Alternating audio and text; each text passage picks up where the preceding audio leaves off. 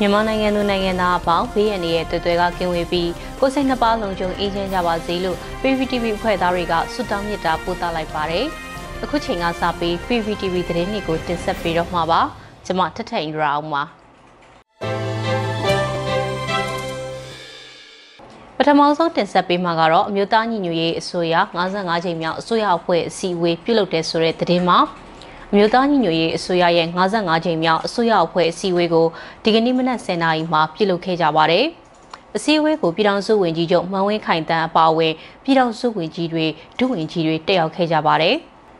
အစည်းအဝေးမှာပြည်ထောင်စုဝန်ကြီးချုပ်မန်ဝင်းခိုင်တန်းကပြည်သူတရလုံးအာရုံသွားခြင်းမရှိဘဲစ조사တွန်းလှန်နေကြတယ်လို့တော်လှန်ရေးမှာတာဝန်ကိုစီယူထားကြတဲ့ကျွန်တော်တို့တာဝန်ရှိသူတွေကလည်းကဏ္ဍဆောင်ကနေပြီးတော့မလစ်ဟင်းရအောင်စ조사ဆောင်ရွက်နေကြောင်းပြောပါရယ်။ အမျိုးသားညီညွတ်ရေးအစိုးရအနေနဲ့ဝင်ကြီးဌာနများအလိုက်ကော်မရှင်ကော်မတီများအလိုက်တော်လှန်ရေးအောင်မြင်နိုင်ဖို့တွန်းအားပေးလှုံ့ဆော်မဲ့ကိစ္စမှန်သမျှစ조사စီမံဆောင်ရွက်နေကြပါတယ် ဒီလိုပဲ NUCC ဆိုရင်လည်းသက်ဆိုင်ရာကဏ္ဍအလိုက် JCC များဖွဲ့စည်းစီမံဆောင်ရွက်နေတယ်လို့ CRPH အနေနဲ့လည်းနိုင်ငံတကာအဖွဲ့အစည်းများနဲ့တွေ့ဆုံဆွေးနွေးပြီးတော့တော်လှန်ရေးကိုအထောက်ပံ့ဖြစ်စေနိုင်ဖို့စ조사စီမံနေတာတွေတော်လှန်ရေးကာလအတွင်းအသုံးပြုရမယ့်ဥပဒေတွေမူဝါဒတွေကို NUCC, NUG တို့နဲ့ပူးပေါင်းပြီးစီမံနေတာတွေအားလုံးသိရှိပြီးသားဖြစ်မှာပါလို့ပြောကြားခဲ့ပါတယ်။ ပြည်သူတွေအနေနဲ့တော်လှန်ရေးလမ်းစဉ်မှာတော်လှန်ရေးဦးဆောင်ဖွဲ့ရင်းနဲ့အတူအပြည့်အဝရည်တည်ပံ့ပိုးကူညီနေတာကိုလည်းအားလုံးသိရှိပြီးသားဖြစ်တယ်လို့ပြောကြားထားပါတယ်။နိုင်ငံရေးအရာအင်မတန်အကဲဆက်ပြီးတော့အနာဂတ်ဖက်ဒရယ်ပြည်ထောင်စုတည်ဆောက်ရေးအတွက်အလွန်နီးစပ်နေတဲ့ကာလမှာပြည်သူများကြားခေါင်းဆောင်များကြားတတိကြီးစွာစီလုံးညီညွတ်သွားကြဖို့လိုပါတယ်။ ဒါကြောင့်ပြည်သူဆန္ဒနဲ့မတွေ့ဖဲပဲဆရာနာရှင်နဲ့မပူပေါင်းပဲတော်လှန်ရေးကိုနိုင်ရကဏ္ဍဘက်ကနေပြီးတော့ပါဝင်ဆောင်ရွက်နေကြတဲ့ပါတီအသီးသီးအစုအဖွဲ့အသီးသီးတို့ရဲ့နိုင်ငံရေးတော်လှန်ရေးရည်တည်ချက်များကိုတခါတရံရှုမြင်သုံးသပ်ပုံများမတူညီကြဘူးဆိုရင်တော့အပြန်အလှန်လေးစားကြရမှာဖြစ်ပါတယ်လို့ပြည်ထောင်စုဝန်ကြီးချုပ်ကပြောကြားထားပါတယ်။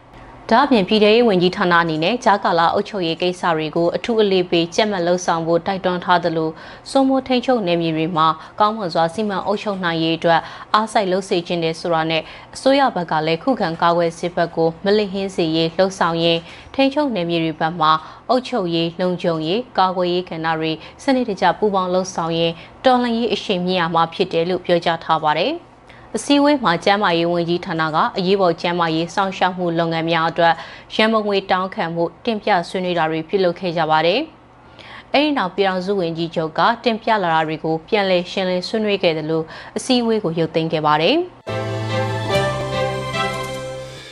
ဆလတ်တင်ဆက်ပေးမှာကတော့မြန်မာဒီမိုကရေစီအရေးနှောင့်နှေးမှုမရှိစေဖို့အတွက်အမြင့်ဆုံးအကောင့်ထေဖို့ဆောင်ရွက်ပေးရေးကွက်အင်အားကြီးလေးနိုင်ငံကိုအမျိုးသားညီညွတ်ရေးအစိုးရတောင်းဆိုလိုက်တဲ့တဲ့မှာ မြန်မာနိုင်ငံရဲ့အကြက်အတဲနဲ့ဒီမိုကရေစီရေးတို့အတွက်နှောင့်နှေးကြန့်ကြာမှုမရှိဘဲအမြင့်ဆုံးအကောင့်ထဲပေါ်ဆောင်ရွက်ပေးနိုင်ရေးကွက်အင်အားကြီးလေးနိုင်ငံစီကိုအမျိုးသားညီညွတ်ရေးအစိုးရက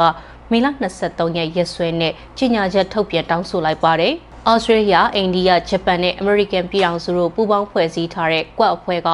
မေလ23ရက်နဲ့24ရက်နေ့တွေမှာဂျပန်နိုင်ငံအတွင်းလုံခြုံရေးဆိုင်ရာအစည်းအဝေးပြုလုပ်နေတဲ့ပေါ်အခုလိုမျိုးစာရေးသားထုတ်ပြန်လိုက်တာပါ။ ထုတ်ပြန်ချက်ထဲမှာမြန်မာပြည်သူတွေအနေနဲ့မတရားမှုတွေမလုံခြုံမှုတွေကိုခါးစည်းခံနေရပြီးတော့မြန်မာနိုင်ငံကိုဒီမိုကရေစီလမ်းကြောင်းပေါ်အမြင့်ရောက်ရှိစေရေးအတွက် ပြီးခဲ့တဲ့ဖေဖော်ဝါရီလအတွင်းတောင်းဆိုခဲ့ကြတဲ့ကွက်အဖွဲ့ရဲ့လက်ရှိအစည်းအဝေးကိုမြန်မာပြည်သူတွေကစိတ်ဝင်စားရှိနေတယ်လို့ဆိုထားပါတယ်။ဒါအပြင်ဩစတြေးလျနိုင်ငံဝန်ကြီးချုပ်အသစ်အနေနဲ့လည်းပထမဆုံးတက်ရောက်ရမယ့်ကွက်အစည်းအဝေးမှာတခြားသောနိုင်ငံခေါင်းဆောင်တွေနဲ့အတူအရေးတကြီးဂရုပြုဖို့လိုနေတဲ့မြန်မာပြည်သူတွေရဲ့အတန်ကိုကြားသိစေဖို့အတွက်လည်းအထူးမျှော်လင့်တယ်လို့ဆိုထားပါတယ်။အကြမ်းဖက်စစ်တပ်ကအာဏာသိမ်းပိုက်ချိန်ကစလို့အပြစ်မဲ့ပြည်သူပေါင်း6သိန်းကျော်ကနေရဆုံခွာထွက်ပြေးခဲ့ရတယ်လို့လက်ရှိမြန်မာပြည်သူတွေအရေးဟာကမ္ဘာအရေးတစ်ခုဖြစ်နေပြီလို့ဆိုထားပါတယ်။အမျိုးသားညီညွတ်ရေးအစိုးရအနေနဲ့ကတော့ကိုယ့်အဖွဲ့ကိုအချက်၅ချက်နဲ့တောင်းဆိုထားတာတွေ့ရပါတယ်။ဒါတွေကတော့၁အကြမ်းဖက်စစ်ကောင်စီရဲ့ရက်ဆက်ကြမ်းကြုတ်မှုအပေါ်တိမခံရန်နှစ်တရားမျှတမှုရှိစေရေးအတွက်အကြမ်းဖက်စစ်ကောင်စီရဲ့လူသားမျိုးနွယ်ပေါ်ကျူးလွန်တဲ့ရာဇဝတ်ဆိုင်ရာပြစ်မှုများနဲ့ဆက်လျင်း၍ပြစ်မှုကျူးလွန်သူများအားအရေးယူရန် ၃နိုင်ငံတကာအတိုက်အဝန်းအနေနဲ့နိုင်ငံရေးပေါ်ဗဟုပြု၍ပေါ်ပေါက်လာသောမြန်မာနိုင်ငံရဲ့ဆိုးရွားလာတဲ့လူသားချင်းစာနာထောက်ထားမှုဆိုင်ရာကတ်ဆိုးကြီးကိုထိထိရောက်တုံ့ပြန်ကင်တွယ်ပေးနိုင်ရန်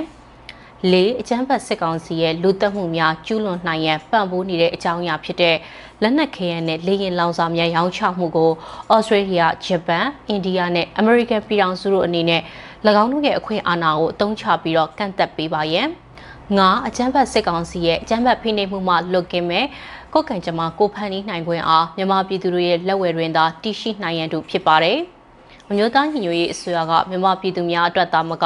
ဒေသရင်းလုံခြုံရေးအတွက်ပါအရေးကြီးတဲ့လက်ရှိမြန်မာနိုင်ငံရဲ့အချက်အတဲနဲ့ဒီမိုကရေစီရေးတို့အတွက်ကွက်အင်အားကြီးလေးနိုင်ငံက formal working group တစ်ခုအားနှောင့်နှေးကြံ့ကြာမှုမရှိဘဲအမြင့်ဆုံးအကောင့်အထည်ပေါ်ဆောင်ရွက်ပေးနိုင်ဖို့အတွက်လည်းထည့်သွင်းတောင်းဆိုထားတာကိုတွေ့ရပါတယ်။ ကွက်အင်အားကြီးလေးနိုင်ငံက2022ခုနှစ်ဖေဖော်ဝါရီလ17ရက်မှာမြန်မာနိုင်ငံအရေးကိစ္စနဲ့ဆက်လျင်းပြီးစိုးရိမ်ပူပန်ကြောင်းကြေညာချက်ထုတ်ပြန်ထားပါသေးတယ်။အခုတင်ဆက်ပေးမှာကတော့ပြည်သူ့ခုခံတော်လှန်စစ်အတွင်းအကြမ်းဖက်စစ်တပ်က15000နီးပါးတိစုံခဲ့တဲ့ဆိုတဲ့သတင်းမှာ ပြည်သူ့ခုခံတော်လှန်စစ်စတင်ခဲ့တဲ့2021ခုနှစ်ဇွန်လ1ရက်ကနေစပြီးတော့2022ခုနှစ်မေလ18ရက်အထိမှာအကြမ်းဖက်စစ်တပ်ဘက်က15000နီးပါးတိစုံထားတယ်လို့အမျိုးသားညီညွတ်ရေးအစိုးရကာကွယ်ရေးဝန်ကြီးဌာနကသတင်းထုတ်ပြန်လိုက်ပါတယ်။ကာကွယ်ရေးဝန်ကြီးဌာနကထုတ်ပြန်လိုက်တဲ့စီးရင်တွေအရပြည်သူ့ခုခံတော်လှန်ရေးအတွင်းမှာအကြမ်းဖက်စစ်တပ်ဘက်က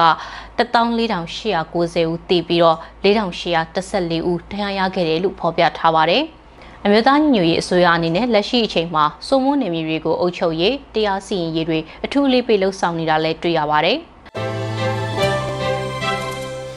ဆလတ်တင်ဆက်ပေးမှာကတော့ American ရေနံကုမ္ပဏီ Chevron ကအကြမ်းဖက်စစ်ကောင်စီကိုငွေပေးချေမှုတွေရပ်တန့်ရေးကမ္ဘာနိုင်ငံအသီးသီးမှာဓာတ်ပုံကပ်ပိတ်ပြုလုပ်နေတဲ့ဆိုတဲ့သတင်းမှာ American ရေနံကုမ္ပဏီ Chevron ကအကြမ်းဖက်စစ်ကောင်စီကိုငွေပေးချေမှုတွေပြုလုပ်မဲ့အပေါ်မှာချက်ချင်းရပ်တန့်ရေးအတွက် ကမ္ဘာနိုင်ငံအသီးသီးကပြည်သူတွေစုပေါင်းပြီးတော့တပ်ပုံကမ်ပိန်းကိုပြုလုပ်နေပါတယ်။ပြည်သူတွေကိုတပ်ဖြတ်တဲ့နေရာမှာအထောက်အပံ့မဖြစ်စေရေးအတွက်အကြမ်းဖက်စစ်ကောင်စီကထိန်းချုပ်ထားတဲ့မြမရေနံနဲ့တဘာတန်ငွေလုပ်ငန်း MOGE ကိုငွေလွှဲမှုတွေချက်ချင်းရပ်တန့်ဖို့အတွက်ကမ္ဘာနိုင်ငံအသီးသီးကဒီမိုကရေစီလိုလားသူပြည်သူတွေကဓာတ်ပုံရိုက်ကမ်ပိန်းတွေပြုလုပ်နေတာပါ။ဓာတ်ပုံကမ်ပိန်းပြုလုပ်နေသူတွေက Chevron, Total Energies စေအုပ်စုကိုငွေလွှဲတာချက်ချင်းရ က်တင့်ရဲ့အခွန်ငွေနဲ့ပြည်သူတွေအသက်ခံနေရတဲ့ဒဏ်ငွေခွန်တွေကိုထိန်းချုပ်ထားတဲ့အကောင့်ထဲမှာတင်စီပါအရေးယူပိတ်ဆို့မှုရဲ့ကင်းလွတ်ခွင့်ကိုမသုံးပါနဲ့ဖက်စစ်အုပ်စုထံနောက်ထပ်တန်း250ထပ်မလွဲပါနဲ့ဆိုတဲ့စကားကိုကင်ဆောင်ပြီးတော့ဓာတ်ပုံရိုက်လူမှုကွန်ရက်ပေါ်တင်ပြီးဆန္ဒပြတောင်းဆိုမှုတွေလုပ်နေတာပါဒီလိုပြုလုပ်ရမှာ American, Sweden, Australia, UK ဂျပန်တောင်ကိုရီးယားပြင်သစ်အိုင်ယာလန်စတဲ့နိုင်ငံအသီးသီးကဒီမိုကရေစီရေးလူလားသူမြန်မာတွေအပြင်နိုင်ငံသားများလည်းပါဝင်တောင်းဆိုဆန္ဒပြခဲ့တာကိုတွေ့ရပါတယ်။ဓာတ်ပုံကမ်ပိန်းကိုမေလ22ရက်နေ့ကနေ25ရက်နေ့ထိပြုလုပ်မှာဖြစ်ပြီးတော့ပါဝင်လို့သူတွေအနေနဲ့ Chevron နဲ့ Total Energies Company ကိုစန့်ကျင်ဖိအားပေးတောင်းဆိုတဲ့စာသားနဲ့အတူအနီရောင်အင်ဂျီသို့မဟုတ်သွေးစွန်းနေသောအင်ဂျီအနီရောင်လက်ပတ်များဝှစ်စင်က လက်သုံးချောင်းထောင်တင်ဂီတာနဲ့ဓာတ်ပုံရိုက်ပြီးတော့ social media မှာဖော်ပြတာ